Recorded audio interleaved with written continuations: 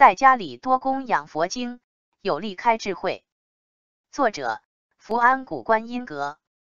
要想开智慧，首先要恭敬佛经。不同于世俗的书，世俗人看他的思维写出来的东西，带住强烈分别念，这个念头就是不清净。而佛法则是佛清净自信的流露，好比朗月照天空，你的心清净了。自然能倒影月亮。那清净心，先要学恭敬。如果家里有佛堂，除了摆放佛像以外，最好能摆放经书，《法华经》、《普门品》、《地藏经》、《阿弥陀经》等各种经书都可以。经书是法宝，和佛一起供养，那当下就可以供养佛宝和法宝，这样比较好。因为有法宝存在，你拜佛才有智慧，才不会等同世俗的拜神。如果家里人不识字，也莫有关系，也要在佛前供养经书。这个经书会慢慢加持，这辈子不识字，下辈子就认识了。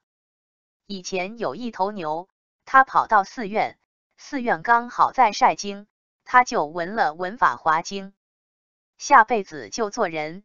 做人后会念法华经，你看，连畜生闻一闻都有这个功德，何况我们人能现道？如果没有福报，不要说你能念经，比如法华经，甚至连现都莫有现过，甚至连这个法华经三个字你都听不到，更何况说你想用鼻子能闻到？所以不能小看它。那家里有佛经的。要好好供养起来。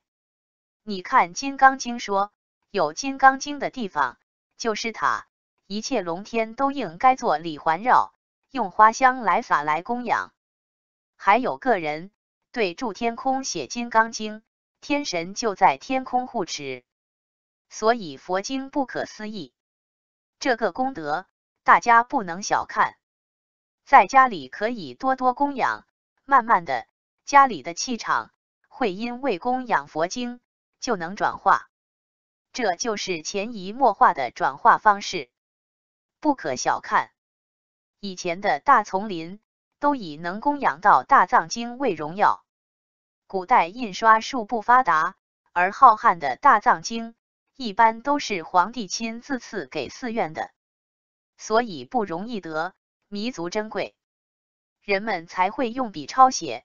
乃至用血来抄写，表示对佛经的恭敬，甚至请人刻在石头上来瞻仰。佛法莫有了法宝，那就没有了解脱的航灯一样了。